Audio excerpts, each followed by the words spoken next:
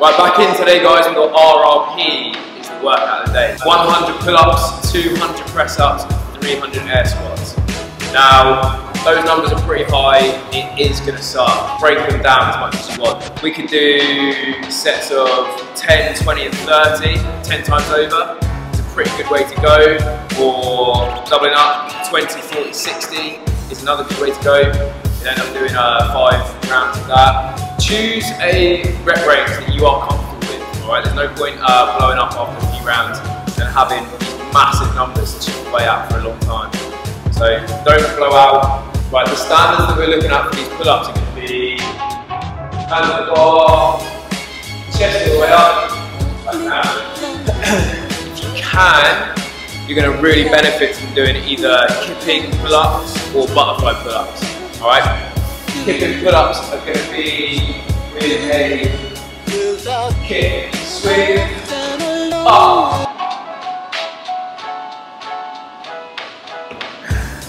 Alright, link them together, or furthermore, if we can link butterfly pull-ups together, then we're going to have more. So, butterfly would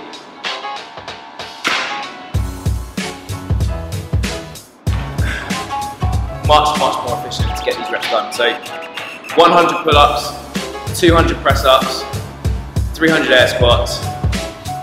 The press-ups are going to be, as always, chest and thighs on the floor. Back up. Ladies, your knees, chest and thighs on the floor. And then squats, as always, they're going to be hip crease below knee, all the way down, all the way back up.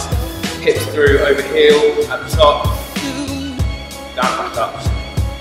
Right, numbers are high, good luck with it, go and get it done, post times,